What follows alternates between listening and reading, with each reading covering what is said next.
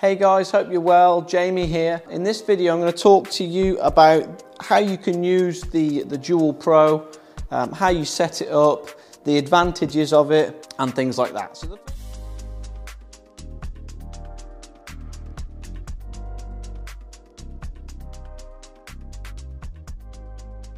like that. So the first advantage of the Dual Pro is that we can start to create the, uh, the functional swing plane window here. So what is that?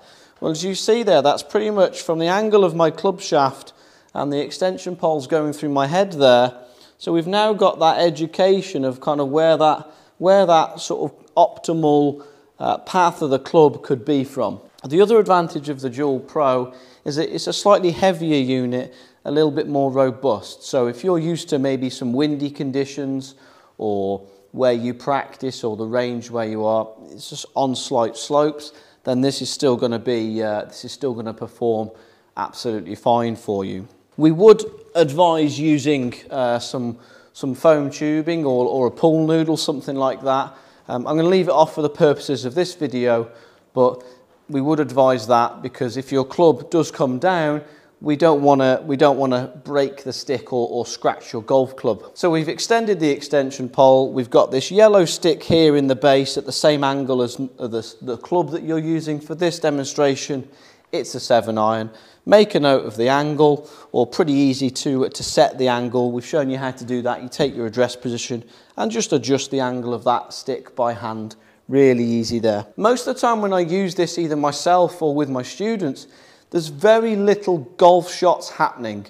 We always start with practice swings. If someone is coming over the top, then what we don't want on that first shot is to hit that extension pole. We're quite far away from the unit anyway, so it's unlikely that the club's going to hit it even if we do. We're more than an alignment stick length away from the sticks anyway. So we're not going to practice from really close.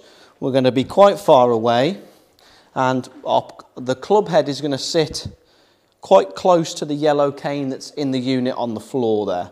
So now as we, as we take our setup, I'm going to practice the movement of that golf club into that area. You can make this as, as uh, difficult by narrowing them in or as, as easy as you like. Start easy, develop, develop your skill level and narrow that in. The bundle comes with the extension pole, but there's no reason why another alignment stick can't be in this, in this tube as well. Just bear in mind it's only going to come up that high. This is obviously a slightly better, better image and a little bit better feedback for us there. We're going to do lots of practice swings, allowing that club to move back into that window there and through the golf ball again. Let's do it again without looking this time. So up to the top, let the club fall back down.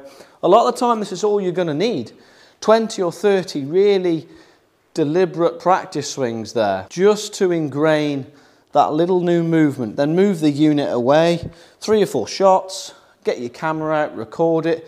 Okay, if you see an issue, bring the unit back in.